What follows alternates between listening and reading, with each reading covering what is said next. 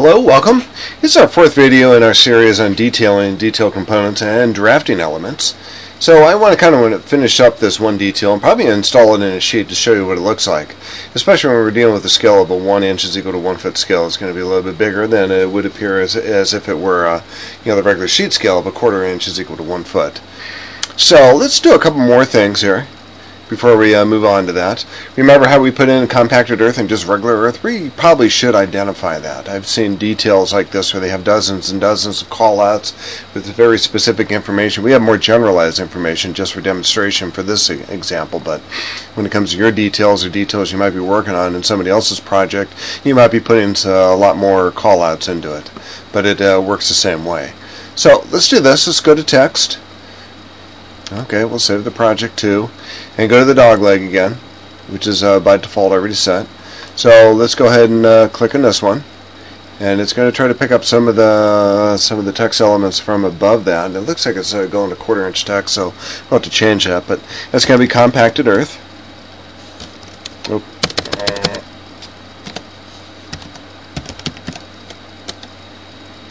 And we already have a um,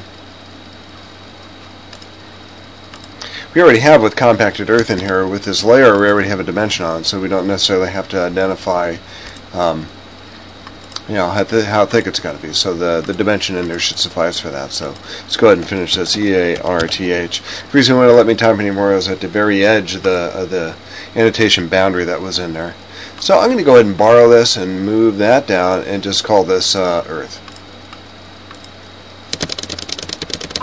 So they know it's the end of uh, what needs to be manipulated for this. So that's our detail. Alright, I've already saved the project. Let's go ahead and save it again. It's always a good idea to save it occasionally. And let's go ahead and insert this into a sheet. So we already have one sheet made. Let's go ahead and create a new sheet. We're going to call that, uh, we're going to go ahead and uh, load my title block. You'll be loading your title block. And go to OK.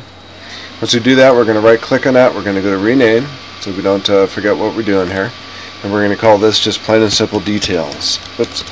The number, uh, let's make that uh, sheet uh, maybe the 400 series, or maybe 401, and we'll call that details.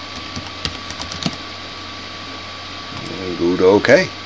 Go up to your project browser, find a detail, remember the detail is in the section uh, folder, grab that detail, detail, drop it in there, you know, so that wall is a lot bigger in this sheet than uh, it would be if we had it at one quarter inches equal to one foot scale, which is what it was at first. But it's of decent size, so we can see a pretty decent amount of detail in there. So it's pretty good. All right, let's look down here.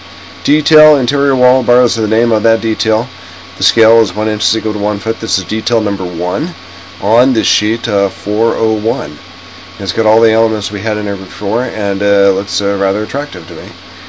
So let's go back to our detail number one and see, or actually go back all the way back to our section view and take a look at that and see what that uh, callout looks like. Now that callout actually does reflect that new number. And let's put that callout in a place that we can actually see it. So remember it is detail 1 on sheet 401. So when you're in this section you see a symbol like that, you know where to go. It gives you a nice address to go to. Alright, that's that. We're going to have a, a, few more videos and then uh, we'll call it done. And uh, thanks for joining me.